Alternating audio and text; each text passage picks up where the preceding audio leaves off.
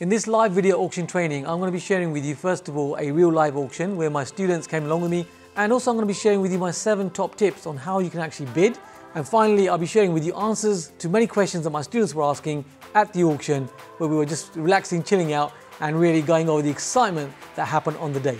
So enjoy the video.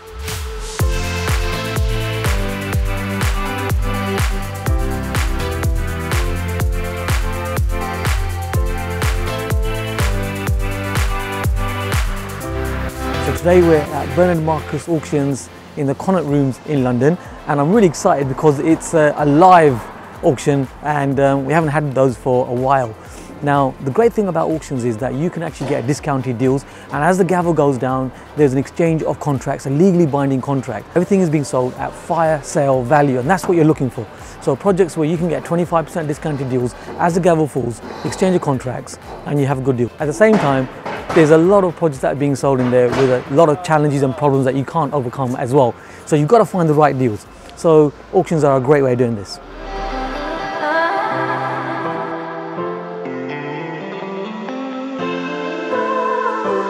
Tip number one is the Avenger bid. You pause at about 20% away from what your maximum bid is. And you come back in and if in that situation the bid is slowing down and it slows down and kind of pauses, you go in with your max bid.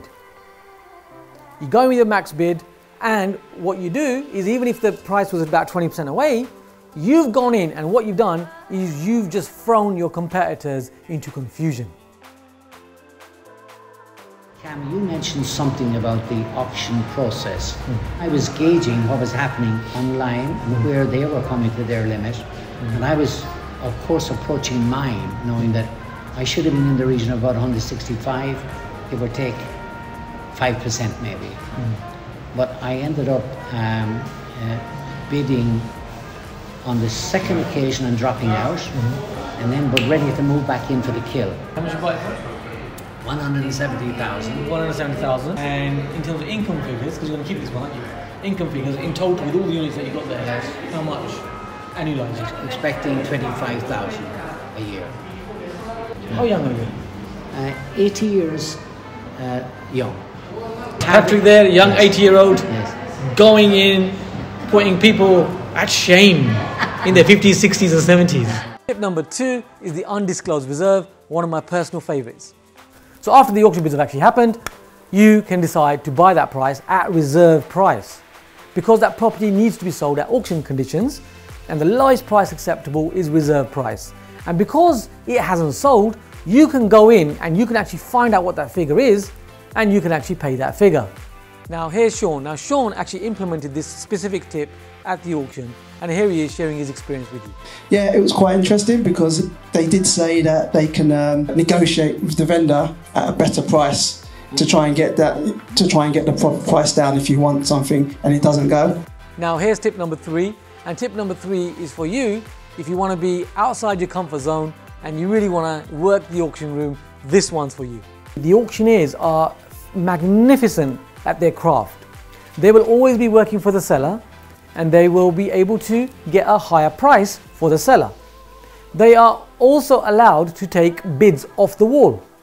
So all the way up to reserve price, they can literally just point at the wall and bring up the price. The behavior of people were uh, exactly like you said. For example, um, under the reserve price, they kind of bounce off the bids and we don't even understand who's bidding it, but they are just like raising the price to some precise level.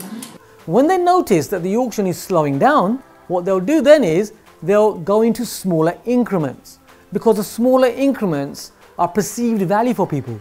And what that means is people are more likely to bid further up on a smaller number. So what you want to do is do what I do.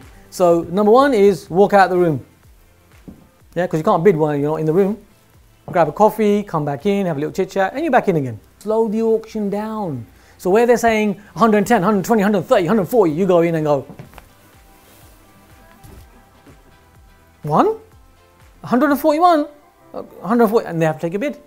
They have to take a bid. Now, from one, it's very difficult for them to actually go back into double digits. So they've got to go to 141. Uh, uh, do I get 142? Uh, what have you done? You've confused them and you've slowed the auction down. Another thing that you can do is you can signal half 110, 120, 130, and you go, you do this. So when you do that, what they have to do is they have to drop it by half. So 110, 120, 130, 140, 150, and you go 155. Now, I hope you're liking these deep dive tips. And as you can see, they're pretty simple, right? Now, I've shared three with you so far. And now we're jumping into tip number four, which is the trial close bid. And when the bidding happens and the heat exchange is happening, what you can then do is you can work on your like, intend, and must. Now, with your must, remember that's the final top figure that you will accept. So we make that number never a number that is a round number. That number always ends up being a random number. So for example, if you're going to bid 250,000 and that's your that's your max bid, and that's your must price because that's the maximum that you will offer. Rather than 250,000, you might go 251,421 pounds. Yeah? So you make it a random number. What this does is everybody else has worked the numbers out, like what I say, on the round numbers. So you literally snipe that deal just because you went a little bit further. The fifth tip I want to share with you is all about gaining competitive advantage at the auction. Now this really works well in a live auction room and I want to share with you how you can gain that competitive advantage and this is all about understanding who's around you in the room. First of all, you have the naughty neighbor. So the naughty neighbor is somebody who is bidding on a property typically that is next door to them. It can also be in commercial scenarios, it might be the tenant of the property that is being sold because a tenant might have a lease on the property and they might want to buy that property because it's their business, they're their owner occupier for example. So the naughty neighbor will typically pay a higher value because the, the value to them is much more than, than it is to anybody else as an investor. The next person I want to share with you, the next type of person is the institutional investor. And the institutional investor will look something like this. They will be on their phone because what they're doing is they are bidding for their investors. They haven't got the skin in the game to the extent that you have. It's just a number for them, it's just a job for them. Next one is the budgeting builder. You don't really want to create a bidding war with them because they can bid much higher than you. Typically, as figures, they can typically bid another 20% higher than you, 20% higher. The margin that they normally can save is around that maximum sort of 20%. The next person I want to share with you is the Homes and Under the Hammer amateur. What we've got to remember is a TV program is a TV program. It's a show. They just watch these programs and think, how difficult can it be? I'll have a go. I'll gain it from my own experience. I'll make some mistakes and learn from them. I'm not going to do that. If I did that, I would call myself foolish. I don't want to play with my money and lose it. Why would you want to do that when you can watch this and learn and do it properly? So that's four characters that you'll find in the room. And the fifth one is, of course, you, the professional investor who's learning what to do and then gaining experience and jumping in there and making sure that you're getting it done right.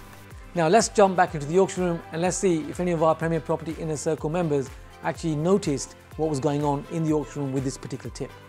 There was one guy with a laptop and a phone throughout the auction. I think that's what you said about the mastermind about institutional investors and the slow process. That's what he was doing. For sure, that's an institutional investor. Um, they're going to be slightly slower than you. They're bidding for somebody else. Uh, so yeah, you can find out who your competition in the room is. Who noticed that I kept on about the budgeting builder on the right hand side? Know, you see them standing there, you know who your competition is because they, they can always, you know, really kind of beat your price because they cut the margin. So you know who you're dealing with. Now, if you're joining me for the first time, my name is Kam Dovedi. I'm the founder of Premier Property Group, an investor developer over the last 30 years. And because of this, over the last decade, I've trained over 200,000 people to help them to actually upskill in property. Tip number six is very deep yet so simple but not simplistic. And this is all about reading the auctioneer's body language. What are they actually saying to you with their body? And it's amazing what you can actually pick up. So enjoy the tip.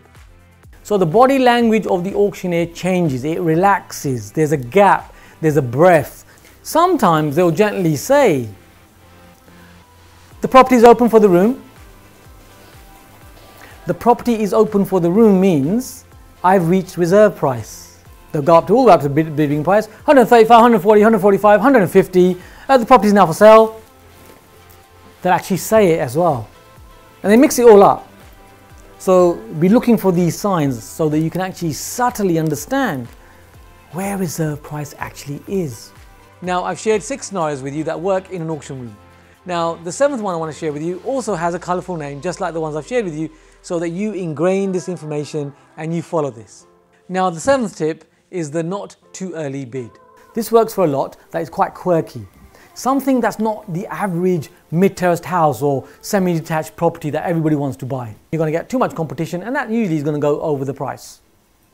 However, when it comes to the ones I'm mentioning now, the quirky deals, you will find that there aren't a lot of bidders on that. We'll wait right till the end, let all the bidding happen. And in the last 30 seconds of the bids online, or when the gavel falls once, and you watch the timing on the second one because the third one can come too fast and somebody else might have bought it. So you've got to move forward on the second hit of the gavel. So it goes once, goes twice, and you come in with your bid. So you wait right till the end. Now, I hope you find these seven tips useful that you can actually use in the real auction world. And I look forward to hearing from you with your successes. Now do subscribe to our channel and get the latest videos and click on that bell icon to make sure that you get the latest notifications. I'm doing a number of content videos all around property. So if you want to get started in scaling your property business, well then come and join us. Now it's time to jump back into the auction with our Premier Property Inner Circle members to find out what they actually thought of the auction on the day. In now at 13250. It's selling at 13 once, 13 twice, third and final time at 13. Sells at 13, Mr. A. Well done. Thank you for your bids in the room. Anybody else want to share their experience? I mean, what do you guys find? There's a lot of people getting up and down and going in and out and stuff and thinking, what's going on? being in the room, I think yeah, definitely it helps to see people bidding. Um, yeah. It motivates you for next time. First time I've been to the auction house, um, so it was a good experience firsthand to see it because you see it on TV and stuff like that. You know, you, everybody goes onto Rightmoves and looks at a lot of properties, and it's always guide from, and it's nice to know what property prices actually reach to. At the beginning, I was a little bit lost, uh, but then you go into the rhythm, and I think if you do your due diligence, it can be a choice to, to buy a property through auction. What's your one word or emotion for today? Um, educational. Fascinating. Excitement. Eye opening. Inspirational. Due diligence. Confident? Interesting. Really good. Excitement. Inspiring. Learning. Excitement. Informative. We'll be back. Oh, good to be back in auction houses again. Experience. Research more. Motivational. Humble.